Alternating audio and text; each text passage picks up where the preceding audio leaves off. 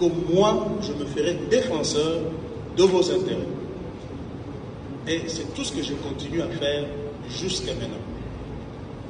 Nous nous sommes retrouvés autour du chef de l'État. Moi, le président Moïse Katumbi et le président Jean-Pierre Bemba. Les deux représentaient leur formation politique. Moi, j'ai représenté ma formation politique, qui est l'UDPS. On a une histoire avec eux. Ça, il ne faut pas l'oublier aussi.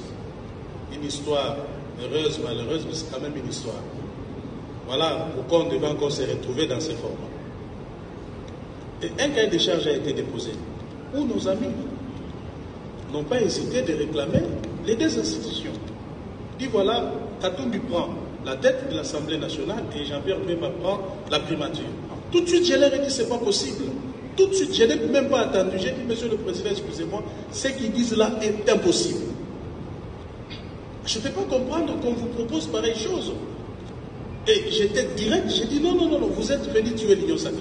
On dit mais pourquoi? J'ai dit non, vous ne pouvez pas, si vous aimez Félix Tshisekedi, vous ne pouvez pas mener pareille proposition.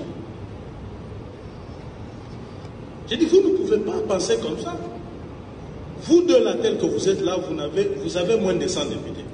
Quand vous, quand vous réclamez la primature, vous réclamez l'Assemblée nationale, c'est-à-dire que les autres n'ont rien apporté dans cette histoire. Vous me connaissez les efforts des autres. À dire, non, toi tu défends l'FCC. Je dis non, je ne défends pas l'FCC. Mais ici, je suis dans le réel politique. Alors, ce que vous vous faites là, c'est de la politique fiction. Vous voulez faire croire au président de la République que l'union sacrée peut fonctionner sans cela. Parce que vous dites que non, mais monsieur le président, imaginez que l'opinion voit à la tête de l'Assemblée quelqu'un qui est avec Kabila.